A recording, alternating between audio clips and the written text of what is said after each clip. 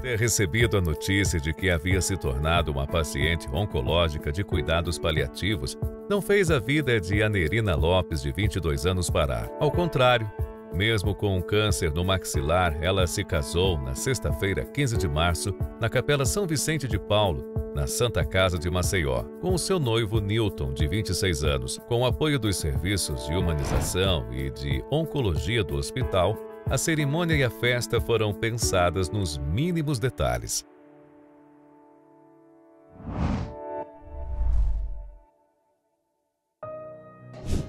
Então eu só tenho a agradecer, porque desde o começo que eu comecei a fazer meu tratamento, que elas me dão força.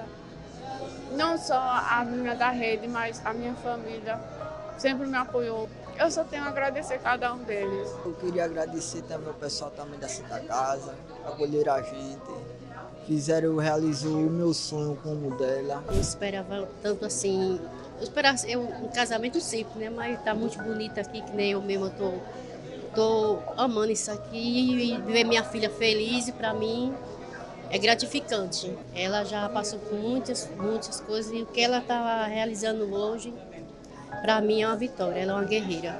Isso é uma felicidade para mim, né? Como pai, fico muito feliz. Hoje nós realizou meu sonho como pai, né, de ter uma filha casada, né, e nesse, nesse momento aí, para mim não tem alegria melhor. A Santa Casa é, sempre acolhe a esses momentos e ainda mais um momento com uma simbologia tão importante pela causa que são pacientes em tratamento oncológico. Então, a partir do momento que esses pacientes manifestam esse desejo, a gestão da linha oncológica, junto com a gestão da humanização, promove para esse acontecimento ser viabilizado e trazer esperança. Afinal, esperança sempre é decidir pela vitória. São os milagres que acontecem com a rede feminina, porque é muito amor. Certo? Sem amor a gente não faria nada disso. É o amor que é registrado entre as voluntárias e com as pessoas também com a Santa Casa, porque se nós não tivéssemos o apoio da Santa Casa, nada seria feito.